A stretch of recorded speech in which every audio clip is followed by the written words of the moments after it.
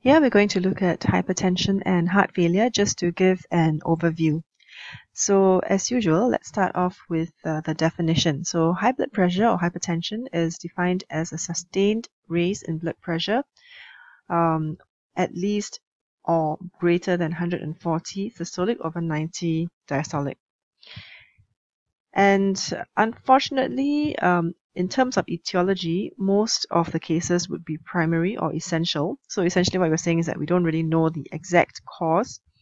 And um, this is a majority of cases. And the rest of cases of secondary hypertension, uh, they can be divided very nicely um, as seen in your lecture using this uh, mnemonic R for renal or renovascular, where there is a renal hypoperfusion or stenosis, uh, uh, giving rise to renin-angiotensin system and uh, all the effects that come after that.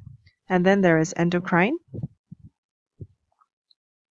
For example, in adrenal cortical or adrenal medullary tumors like pheochromocytoma, um, there's neurologic high blood pressure, which is induced by increased raise, uh, by raised intracranial pressure, which then gives rise to a reflex increase in uh, systemic blood pressure. Uh, there can also be aortic causes such as aortic coarctation or anything that increases the stiffness of the aorta. And then L stands for labile, where blood pressure can be raised uh, in the setting of psychological stress. Now, in terms of clinical manifestation, uh, most of the time hypertension is asymptomatic. Uh, however, it can wreak a lot of damage uh, on multiple organs. Uh, so this is why patients must always be counseled to take their medication even though they feel well. Now, what sort of pathology can we expect? Uh, this can affect many organs and they often start at the level of the blood vessels, whether they are smaller or larger. So for larger blood vessels, there can be accelerated atherosclerosis. Hypertension is one of the modifiable risk factors for atherosclerosis, if you recall, that we talked about here. Um, it can also predispose to aneurysm formation.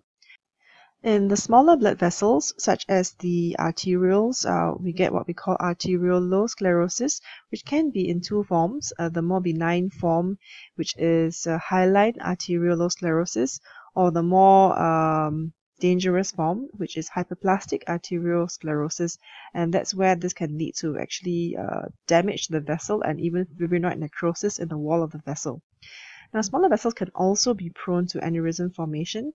For example, in some of the cerebral vessels in the brain, uh, these vessels are prone to rupture. This is why spontaneous hemorrhage in the brain in hypertensives can occur and give rise to sudden neurologic deficits or what we call strokes. Now, of course, hypertension can also give rise to cardiac effects, and this is known as hypertensive heart disease. One of the more uh, important and prominent effects would be left ventricular hypertrophy due to increased pressure load, and this can eventually give rise to left ventricular failure and go on to congestive heart failure. We'll talk a bit more about heart failure later. Um, some of the very important uh, end organs that are affected in hypertension include the kidney, as well as the brain. In the kidney, when we have these uh, vascular changes, um, the hyaline type arteriolosclerosis, this is called nephrosclerosis. Of course, there can also be hyperplastic arteriosclerosis in the kidney, and this is seen in malignant hypertension and can lead to renal failure. Um, in the brain, as mentioned, there can be hemorrhage from small little aneurysms, and there can also be uh, thrombosis. So malignant hypertension, I touched on. Um, this is where there are severe effects affecting uh, main organs like the brain, giving rise to encephalopathy, uh, renal, uh, renal failure, as well as heart failure. And last but not least, let's touch on heart failure. Heart failure is a condition where the heart is not able to meet the body's metabolic demands and this is usually seen uh, despite normal or raised venous filling pressure. So it is not due to severe uh, uh, hemorrhage leading to depletion in blood volume. Now we can look at heart failure in terms of forward failure as well as backward failure. Uh, in forward failure, what it means is that heart is not pumping well, therefore there is decreased cardiac output. Whereas in backward failure, the chamber that is receiving the blood and moving it forward is not working properly. and this results in venous congestion. When you have a combination of heart failure involving both sides of the heart, left and right, this is known as congestive cardiac failure. And um, this is one of the end stages of many of the different types of cardiovascular diseases and can eventually uh, result in cardiogenic shock. So heart failure occurs when all the compensatory mechanisms uh, are no longer able to maintain cardiac output and we have certain compensatory mechanisms such as increased heart rate, uh, ventricular hypertrophy, cardiac dilation in an attempt to increase uh, output, as well as uh, water and salt retention by the kidneys. Uh, now, the causes of heart failure are much to do with uh, the four elements that we mentioned earlier on that are required for the heart to pump properly or to function properly as a systemic pump for the circulation. So conditions that we've previously touched on, ischemic heart disease, myocarditis, cardiomyopathies, etc. can affect the pump. And we also previously mentioned some of the conducting uh, abnormalities or conduction abnormalities. Now, in terms of the valves, um, you can sort of think about uh, valvular disease um, in two functional aspects. One is when the valve is incompetent, meaning it's not able to close properly, and this allows a backflow of blood. This is called regurgitation, for example, mitral regurgitation. And this results in a volume overload in the chamber where the blood is supposed to be leaving. And this then results in the dilatation of the cardiac chamber as well as hypertrophy, eventually can give rise to failure. The other thing that can go wrong with valves, of course, is that they can't open properly, and this is known as stenosis. So the lumen is, the opening is narrowed, and this results in a pressure overload. And again, this has got effects on the chamber, which is often that of hypertrophy. And after a certain point where the heart can no longer compensate, this is when um, heart failure ensues.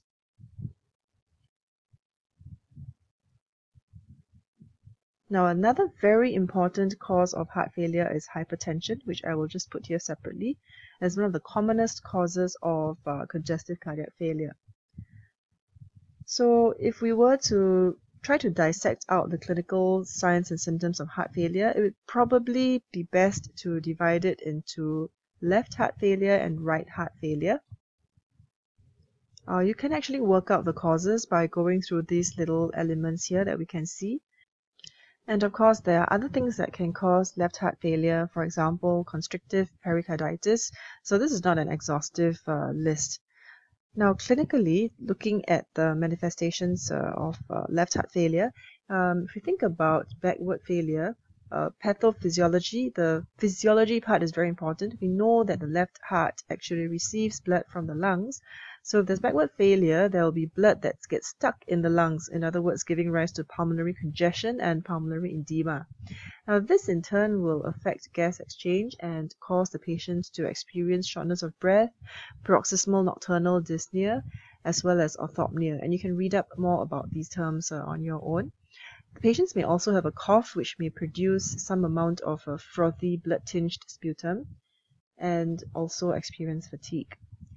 Now for forward failure, because the left heart essentially supplies blood to every part of the body, there can be resulting uh, effects such as uh, those arising from renal hypoperfusion when there is less blood going to the kidneys. Uh, they will then activate the renin-angiotensin system and give rise to salt and water retention.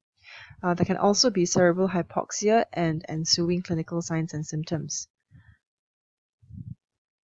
Now, when it comes to right heart failure, one of the most important causes is actually left heart failure, eventually giving rise to stress on the right heart and causing right heart failure.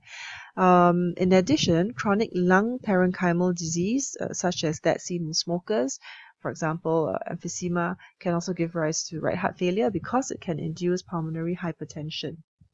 Uh, of course, there can be many other causes, including valvular diseases and some of these uh, causes here as well. Now, in right heart failure, the predominant um, pathophysiology is that of venous congestion. So the clinical signs and symptoms arise from this, and what happens is that in the abdominal organs, because the inferior vena cava receives the venous return from these organs, large organs such as liver and spleen, there can be ensuing hepatosplenomegaly on clinical examination.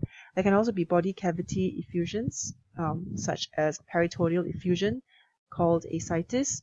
And uh, what is most visible to the patient perhaps is uh, peripheral edema. So the patient may complain of lower limb swelling. And these patients may also experience nocturia, which is the need to urinate during the night. And this is often because all the fluid that was retained um, in the third compartment will return to the kidneys and be excreted uh, at night when the patient is uh, lying down. So essentially, we have gone through uh, the main cardiovascular conditions or diseases that you will encounter relatively frequently. Of course, there's a whole host of others that are not covered here, but hopefully this will give you a good overview of some of these conditions. And we've talked about them in terms of the definitions, uh, the etiology, and the clinical effects, as well as some of the risk factors.